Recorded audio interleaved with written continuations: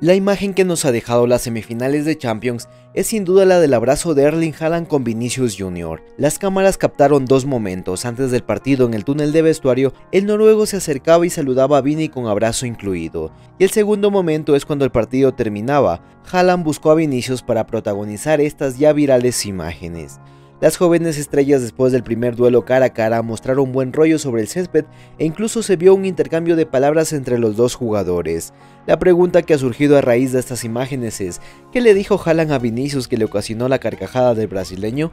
Lastimosamente las cámaras captaron el abrazo pero no la lectura de labios porque el noruego se tapa la boca antes de decirle algo al brasileño. Algunas interpretaciones aseguran que Haaland habría dicho a Vinicius que le guarde la camiseta para el partido de vuelta, ya que en el Bernabéu intercambió con su compatriota Ederson el portero del City.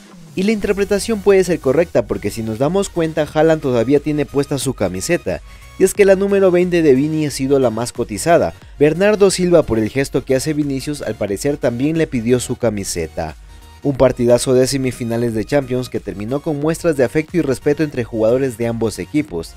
Haaland muy cariñoso y respetuoso con los jugadores del Madrid y los jugadores del City mostrando respeto a la figura del encuentro que fue Vinicius Jr.